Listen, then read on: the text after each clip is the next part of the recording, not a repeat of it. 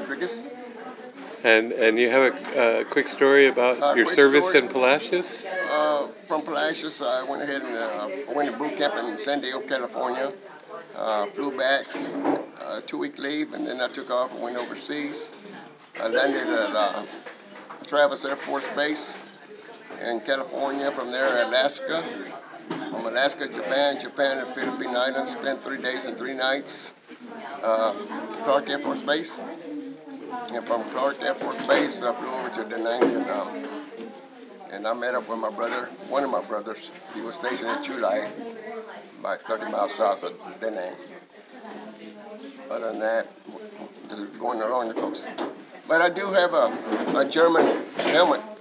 I'll Okay. probably, I'll probably, you know, give it to you. Somebody gave it to me, and we're all military guys, so I don't want a German helmet. Sure. Other than that, there's more stories to that, but that's about it. Thank you. Thank you for your service.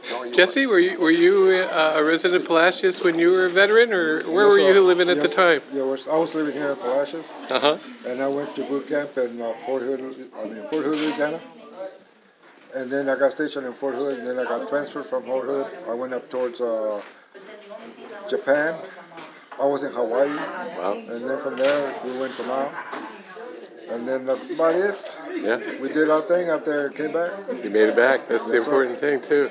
Well, thank thank you for your service. you, Thank you for all you do here at the senior center. Thank you. Uh, Jesse's very very active member of the center here and does a lot of great things. Yes. Thank you, sir.